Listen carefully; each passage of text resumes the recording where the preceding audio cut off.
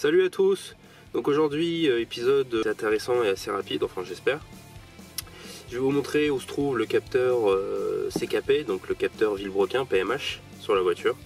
Je vais le démonter, le nettoyer, c'est parti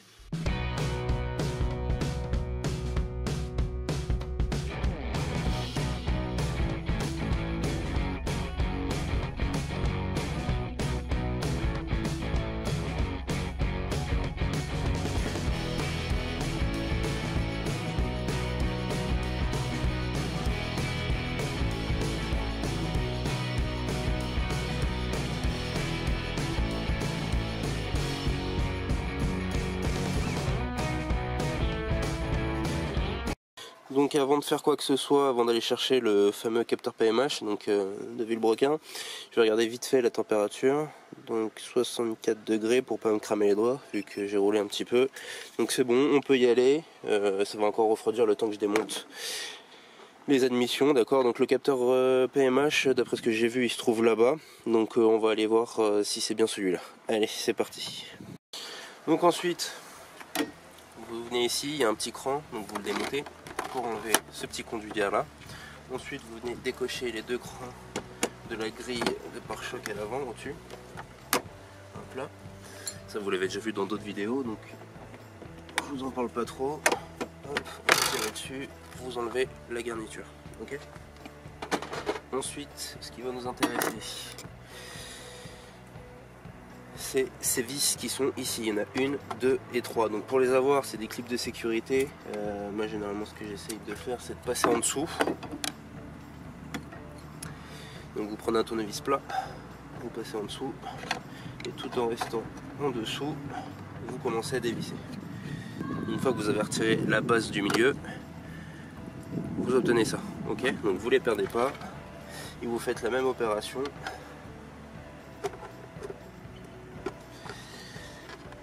plein pour les autres vis.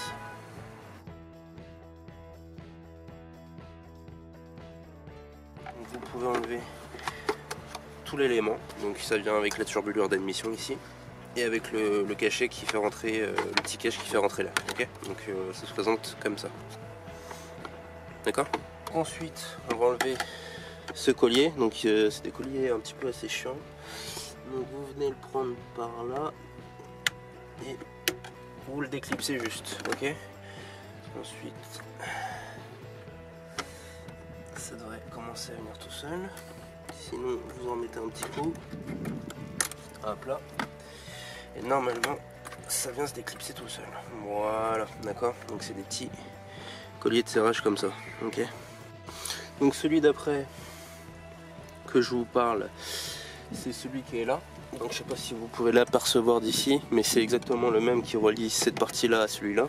Donc même principe.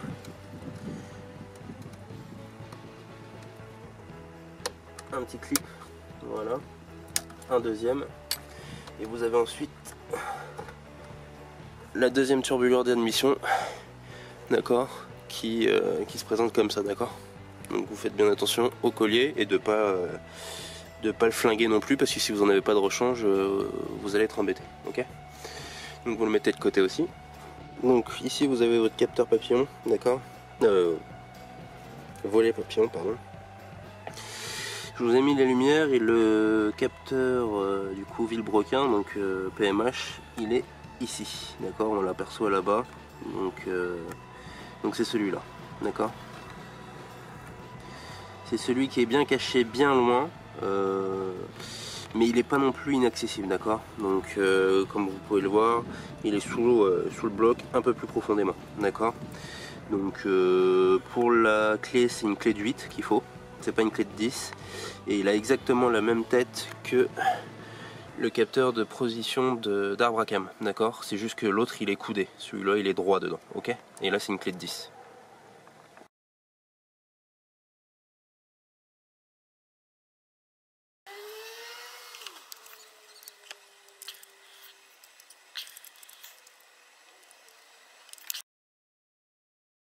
Je le sens, je le sens qu'il arrive tout doucement. Allez.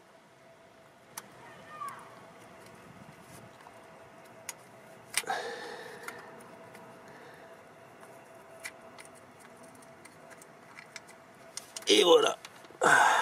Le voilà. Ouh, Ouh il est pas joli. Ouh, c'est pas joli du tout. C'est pas du tout joli. Donc bon, euh, le capteur en lui-même, euh, les broches et tout ça, il n'y a pas d'oxydation, tout va bien. Euh, Made in France, Siemens. Quand même du Made in France sur cette voiture. Donc comme vous pouvez voir l'état il est pas super super, on dirait qu'il y a comme de la rouille qui est rentrée dedans, je sais pas ce que c'est. Donc est-ce qu'il est endommagé ou pas? Pour l'instant je ne sais pas. Mais voilà l'état du PMH après 95 000 km sur Ford Fiesta.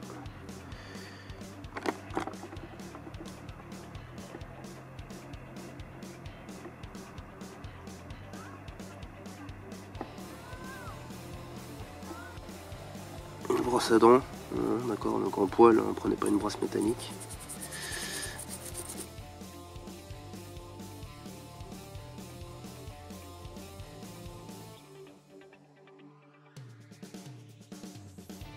Du coup, euh, je vais vous tester le capteur PMH, donc le multimètre sur la programmation Home, ok, et sur 600. Donc le capteur d'après les RTA, c'est entre 200 et 450 ohms, d'accord? Donc c'est la marque Siemens. On va aller regarder la résistance, donc hop, sur chacune des, broches du capteur. Donc, comme on peut voir, j'ai 420, en gros 420-421. Donc c'est entre 200 et 450 ohms pour sa résistance. Donc le capteur, il est encore. Ok? Donc voilà comment on teste son capteur PMH au multimètre. Donc je pensais que c'était le code d'erreur qu'il y avait eu euh, sur les ratés cylindres, mais c'est pas lui le fautif, donc je pense que ça sera côté allumage et vous verrez ça bah, dans quelques mois. Ok? Allez, on continue.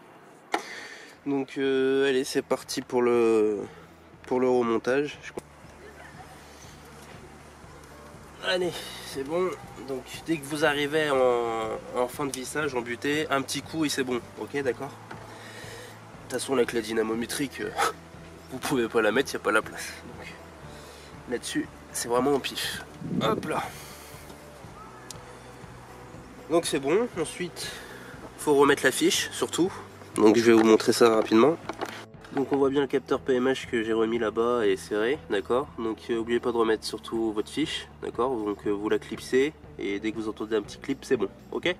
J'ai fini, donc on s'est occupé du capteur euh, PMH, donc le capteur euh, de vibroquin. Donc chez Ford, ça s'appelle le capteur CKP. Ok, si vous avez une erreur comme moi dans le screenshot que je vous ai mis, c'est le capteur PMH en fait, le CKP. Ok? Donc confondez pas avec le capteur d'arbre à cam qui est ici, qui a la même tête. Ok? Alors pour la conduite d'admission, moi je vous conseille de régler ça d'abord avant de le mettre sur le boîtier papillon. Vous mettez le petit cran là-dedans dans le petit rail, vous allez jusqu'au bout avant et vous le clipsez. Et après vous l'emboîtez sur le boîtier papillon.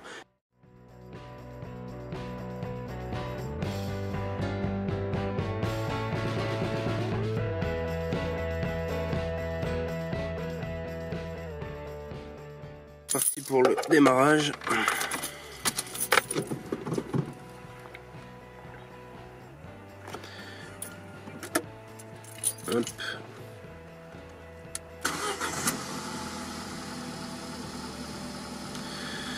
Donc pour l'instant, elle est en mode normal. De toute façon, c'est le starter, automatique euh, qui gère la température vu qu'elle est un peu plus froide pour faire remonter tout de suite la température dans le moteur.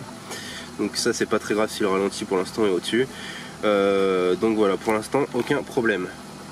Donc voilà les amis, fin de l'épisode, donc euh, la voiture démarre, bon je m'y attendais un petit peu. Euh, au niveau de ce code d'erreur, pour vous en dire plus. Le code d'erreur c'est P0300, d'accord? C'est un code d'erreur qui apparaît comme ça du jour au lendemain quand ma femme traversait Paris.